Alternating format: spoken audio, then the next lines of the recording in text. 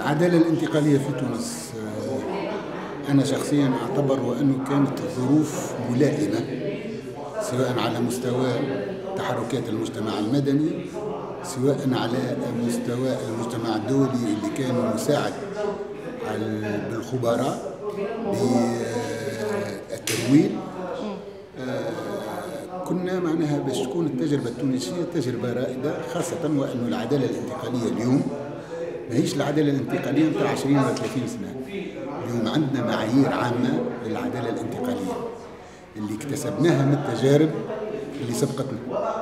مع الأسف إحنا في تونس قمنا بجميع المجهودات نتاعنا على مستوى السلطة وساعد كذلك المجتمع الدولي باعتباره كان متبني للمسار اللي مشات عليه السلطة. قلت قمنا بجميع المجهودات باش نفسحوا التجربة التونسية. أول محطة هي إحداث وزارة لحقوق الإنسان والعدالة الانتقالية اللي معناها ما قامتش بالدور نتاعها واللي همشت الهدف الأساسي من العدالة الانتقالية. الوزارة هذه أسندت لها مهمتان مهمة اتخاذ تدابير عاجلة لفائدة شهداء وجرحى الثورة. والمهمة الثانية هي التنسيق مع مكونات المجتمع المدني مع المنظمات الحكومية مع مختلف المؤسسات لتحديد سياسة للعدالة الانتقالية.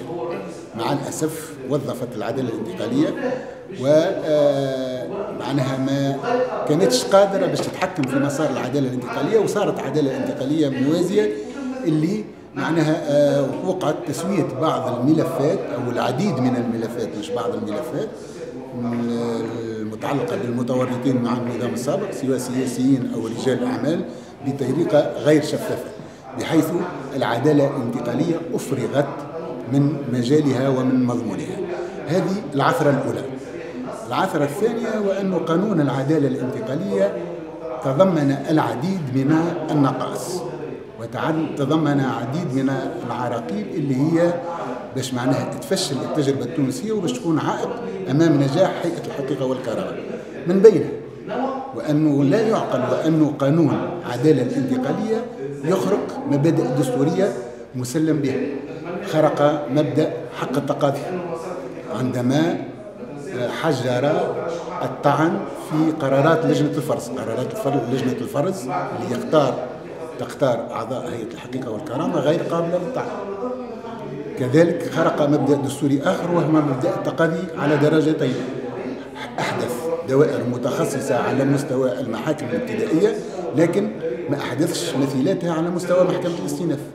الدستور واضح في هذا المعنى وأنه التقاضي على درجتين ابتدائي واستئناف ثم تعقيد محكمة التعقيد هي محكمة القانون ثم المبدأ الآخر الذي وقع معناها خرقه هو مبدأ شرعية الجرائم والعقوبات. هذا المبدأ يقتضي وأنه لا يمكن محاكمة شخص إلا بمقتضى نص سابق الوضع تنجمش تحاكمني اليوم أنا بنص اليوم على أفعال ارتكبتها تو مدة 20 و 30 سنة.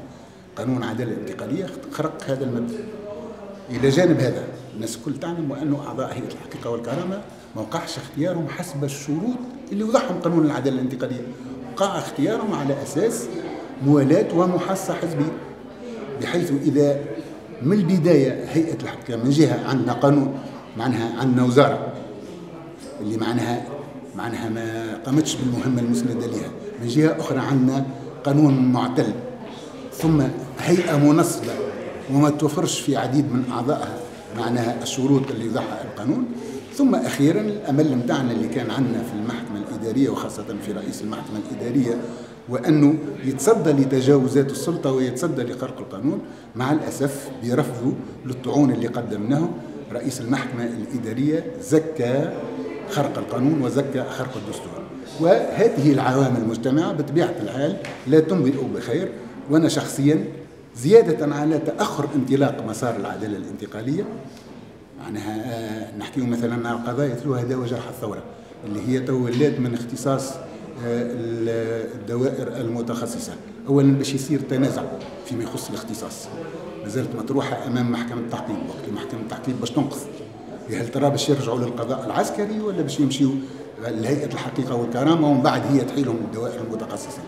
بحيث هالمشاكل هذه كل كلنا في غنى عنها والمجتمع المدني مع الأسف رغم وانه قام بمجهودات كبيرة والتنسيقية إحنا من بين الأعمال اللي قمنا بها وأن عددنا قانون بواسطة مختصين أساتذة جامعيين قضاة محامين ناس اشتغلوا على العدالة الانتقالية. مع الأسف لم يؤخذ بعين الاعتبار وقدم هذا المشروع اللي ظاهر هي العدالة الانتقالية فيها شرط أساسي للنجاح. إرادة سياسية صادقة في إرساء منظومة عدالة انتقالية منصفة للجميع. مع الأسف إحنا عملنا عدالة انتقالية باش تقول عدالة انتقالية وخاصة بهذه التركيبة لهيئة الحقيقة والكرامة عدالة انتقالية وهيئة حقيقة وكرامة لتصفية الحسابات لا لمعرفة الحقيقة. بالنسبة لي أنا الفترة اللي فاتت واللي هي فترة تقصي حقائق نجم نقولوها بالنسبة لي ما تسكرتش آه، نهائيا. علاش؟ على خاطر باش آه، تنجم تتعدى المرحلة اللي من بعد يلزم أولا كشف الحقيقة. هي من بديهيات أو من أبجديات العدالة الانتقالية، أول حاجة هي كشف الحقيقة. هل ترى إحنا اليوم كشفنا الحقيقة؟ حقيقة ما حصل آه، يوم 14 جانفي ساعة وقبل 14 جانفي والفترة الحاصلة من تجاوزات وانتهاكات ضد المواطنين وضد الناس، هذه كل إلى حد اليوم آه، برشا حقائق ما زالت ماهيش معروفة. بالتالي أنا نعتبر انه فترة تقاسي الحقائق لم تكفي على الأقل لكشف أو ل آه، معناها رفع الظلمة على الفترة هذه الحالكة اللي عاشتها البلاد في الفترات السابقة. فما تقارير تعملت سواء في فيما يخص ملفات الفساد فما منها تعدى للقضاء فما منها انتهت في آه، آه، معناها في طريق مسدود. فما تقارير عملت تعملت على ظروف اندلاع احداث الثورة. هذه الكل ما ما ما حددش مسؤولية آه، بصفه واضحة مسؤولية طرف أو جهة معينة في الانتهاكات. وإحنا نعرفوا أنه المسؤولية آه، معناها فيها نوعين فما المسؤولية الجماعية وفما المسؤولية الفردية. اليوم حتى كان حددنا بعض المسؤوليات الجماعية المسؤولية الفردية ما تحددش. فما ناس مسؤولة على انتهاكات وأفلتت نجم نقولوا أنها أفلتت أو نجحت في الإفلات من العقاب.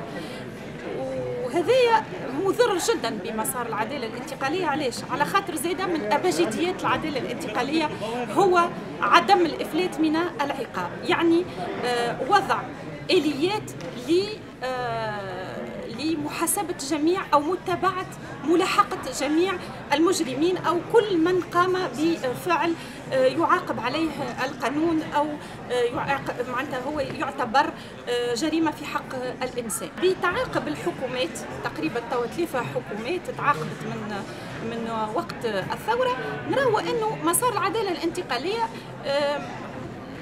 فيه نوع من الكومينكور يعني نوع من مسار ماهوش ماهوش على نفس الوقع.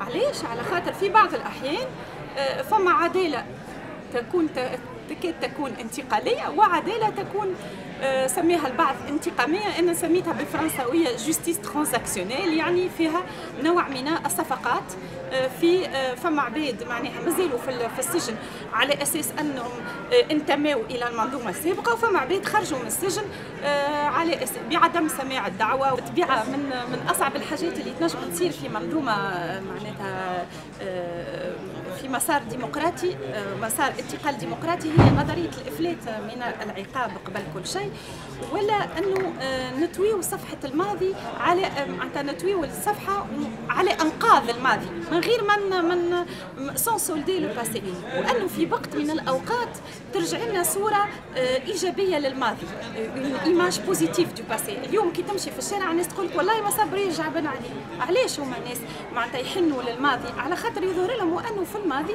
حتى كان فما انتهاكات. ما كانتش انتهاكات بالصورة ربما اللي هما قاعدين بالقهر والذل اللي يعيشوا فيه اليوم.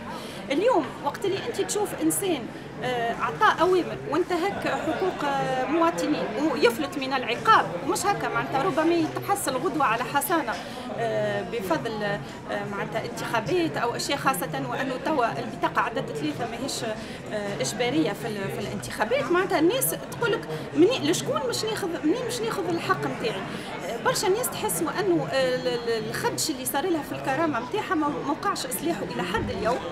وهذايا كما قلت صورة سلبية جدا وهي اللي تخلي المسار الديمقراطي عفوا المسار العدالة الانتقالية يفقد مصداقيته. اليوم الناس فقدت الثقة في السياسيين وفي المؤسسات بسبب عدم وجود عدالة انتقالية صادقة و معناتها نعطيوها الثقة ونقولوا طوينا صفحة الماضي. صفحة الماضي لم يقع طيبها بالنسبة لي